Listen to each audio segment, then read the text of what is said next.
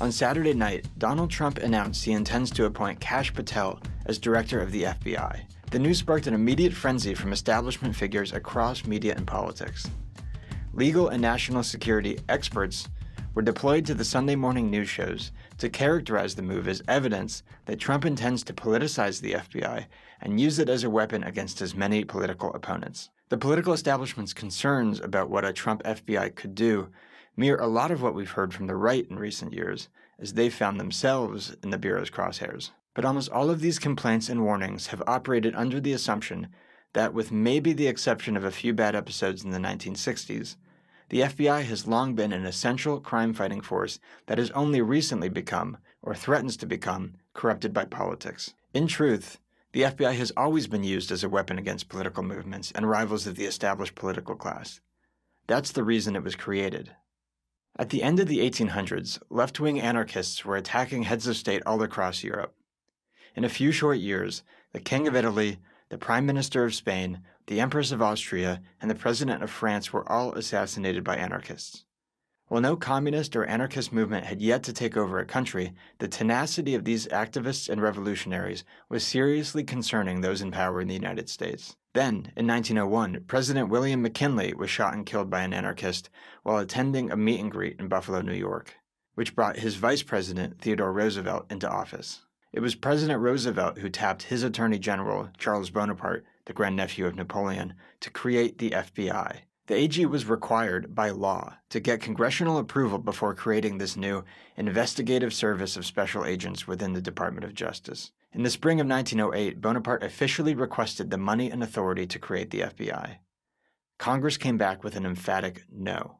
Members of the House saw through the innocuous language of the request and figured out exactly what the President and AG were doing creating a secret police force that was answerable only to them. House Democrats like Joseph Swagar and John J. Fitzgerald, and Republicans like Walter I. Smith and George Waldo all loudly condemned the proposal, saying it called for a system of espionage comparable to the Tsar's secret police in Russia that stood in stark contrast to the very principles at the heart of the American system. Congress explicitly forbade the AG from creating this new bureau. So, what did Bonaparte do?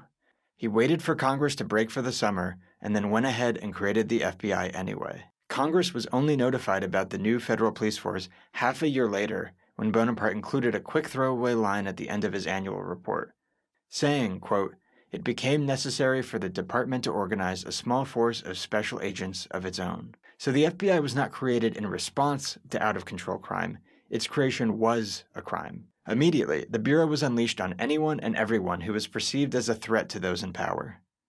That started with left wing anarchists, but quickly expanded to include many anti war activists as President Wilson pulled the country into World War I.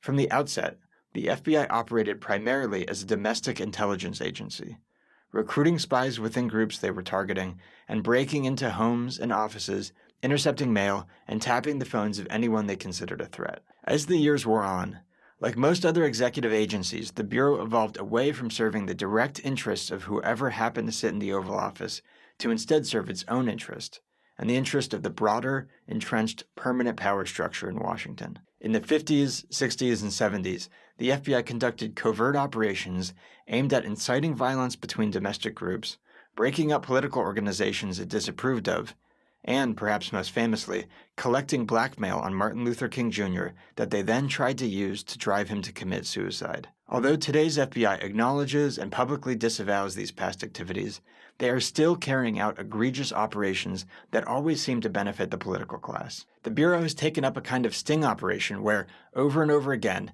agents find isolated, gullible, often mentally handicapped young men, pretend to be political radicals or higher ups in a terrorist organization, and then convince the young men to plan and carry out a terrorist attack with FBI funds and resources.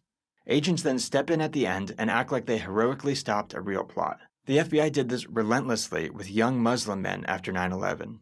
The arrests helped prolong the perception that the global war on terror and extreme measures like the Patriot Act were necessary. In recent years, the FBI has conducted a number of similar schemes with right wing groups, advancing the establishment's narrative that Donald Trump is radicalizing uneducated middle Americans and turning them into violent insurrectionists. And then there are, of course, all the ways the FBI directly tried to undermine and hinder Trump's first term.